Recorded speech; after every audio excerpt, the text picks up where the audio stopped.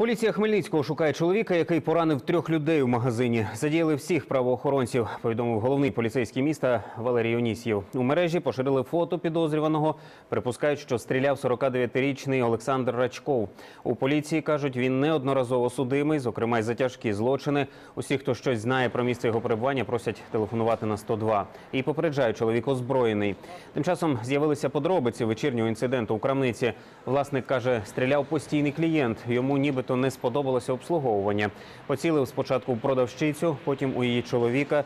У перехожого випустив кулю, коли тікав. Поранені в лікарні. У жінки куля пройшла наскрізь біля серця. Її прооперували. Стан тяжкий, кажуть медики. Поранені чоловіки почуваються задовільно. Швидкою допомогою на приймальне відділення було доставлена е, жінка в край важкому стані з вогнепальним пораненням грудної клітини е, в стані геморагічного шоку.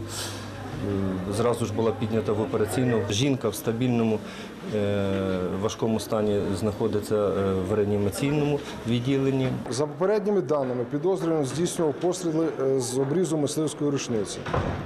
Підняти всі працюють служби по встановленню його місця знаходження. Небезпека від злочинця залишається, тому що нам невідомо, чи в нього ще є набої і чи в нього ще залишається зброя. Місто Хмельницький зараз перекрите силами поліції.